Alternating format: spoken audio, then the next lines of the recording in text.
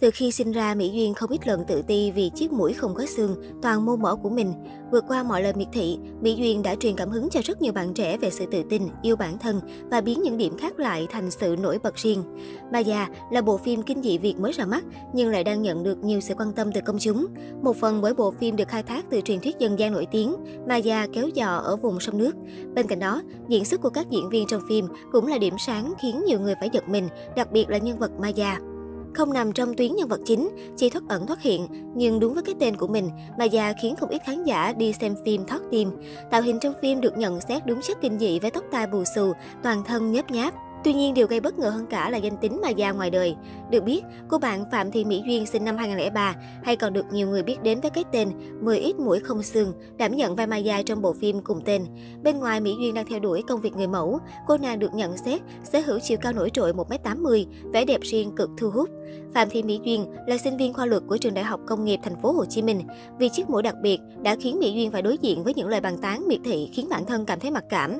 Từ khi vừa được sinh ra, Mỹ Duyên đã bị dị tật bẩm sinh ở mũi. Nữ người mẫu ngày ngào chia sẻ, thậm chí lúc mới sinh tôi không có ống thở ở mũi. Bác sĩ phải cắt ống hút nhỏ để vào tạo đường thở. Đến năm lớp 3, tôi mới được phẫu thuật lần đầu tiên để cấy sụn vào mũi. Và tôi có dự định phẫu thuật tiếp vào đầu năm nay, nhưng vì một số vấn đề mà tôi phải tiếp tục đợi. Mỹ Duyên kể. Không may mắn vì bị dị tật bẩm sinh, Mỹ Duyên càng thêm tổn thương khi đi học bị bạn bè buông lời ác ý, thậm chí còn phải đối mặt với chính sự miệt thị đến từ người giáo viên của mình. Giáo viên này cho rằng Mỹ Duyên không đủ tư cách để tham gia cuộc thi học sinh thanh lịch ở trường. Cô giáo lưu ý rằng cuộc thi chỉ dành cho những cô gái có sắc đẹp. Rồi Mỹ Duyên sốc khi vô tình phát hiện chuyện mình đang là chủ đề bàn tán nói xấu trong trường. Một nhóm bạn đã chụp trợ ảnh cô, phóng to gương mặt lên, khoanh tròn kèm những lời miệt thị, rồi lan truyền hình ảnh đó cho những người khác nữa. Vụ tấn công ác ý đó như giọt nước tràn ly đã khiến trái tim nhạy cảm của Mỹ Duyên như bị cứa nát. Suốt học kỳ đầu tiên lớp 10, cô rơi vào trầm cảm, khóc suốt ngày, liên tục xin ba mẹ cho nghỉ học, thậm chí suy nghĩ đến chuyện dại dột. Cha mẹ Duyên bằng sự nhạy cảm của người sinh thành và yêu thương đứa con thiệt thòi đã phát hiện những bất thường ấy. Họ đã khuyên nhủ động viên con gái và tìm cách kéo Duyên trở lại. Những ngày con gái giam mình trong phòng, người cha lên thực đơn để vợ đi chợ rồi tự nấu cho Duyên những món ngon. Chớp chớp, ông lại lên phòng con gái, hé cửa nhìn con rồi lại đi xuống, canh chừng vì sợ con làm điều dại dột.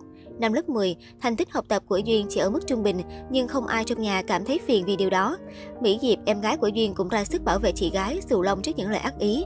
Duyên dần nguôi ngoai, trả lời cho câu hỏi làm thế nào để vượt qua khủng hoảng, Mỹ Duyên cho biết cô không có câu chuyện hay bước ngoặt nào cụ thể để cô có thể bước qua những tổn thương của mình vì body shaming, nhưng nhờ có sự động viên của gia đình, dường như là mỗi ngày, nên dần về sau, Mỹ Duyên chấp nhận con người mình và chẳng cách đối mặt vượt qua mọi khó khăn. Bên cạnh sự đồng hành của gia đình, thì việc bén duyên với nghề người mẫu cũng là chất xúc tác, giúp Mỹ Duyên tự tin bước ra ánh sáng và thể hiện mình. Duyên kể mình bén duyên với công việc người mẫu hết sức tình cờ. Năm lớp 10, Mỹ Duyên tháp tùng em gái sinh đôi đến dự tuyển một cuộc thi người mẫu. Ban đầu cô chỉ định đi theo hỗ trợ em gái, nhưng lại được mọi người khuyến khích thử sức nên cô cũng tham gia. Không ngờ qua cuộc thi, Duyên được nhiều người chú ý và có những lời mời chụp ảnh. Trong số đó có bộ ảnh chữa lành của nhiếp ảnh gia Mỹ Điền, dự án tập hợp những người mẫu có ngoại hình đặc biệt. Nhờ bộ ảnh Mỹ Duyên cũng được nhiều người biết đến hơn. Tham gia The Face Việt Nam 2022, Mỹ Duyên đem lại một thông điệp ý nghĩa như nói lên nỗi lòng của bản thân và rất nhiều người khác. Ngừng body shaming. Cho dù chưa thật sự thích hợp với tiêu chí của The Face Việt Nam để có thể tiến sâu hơn tới những vòng trong, nhưng Mỹ Duyên vẫn được dàn giám khảo với nhiều khán giả dành lời khen và ngưỡng mộ dành cho cô nàng nhờ nét đẹp rất riêng và nụ cười luôn rạng rỡ trên môi. Ở hiện tại, Mỹ Duyên vượt qua mọi định kiến trở thành mẫu ảnh, người mẫu sải bước trên nhiều sàn runway.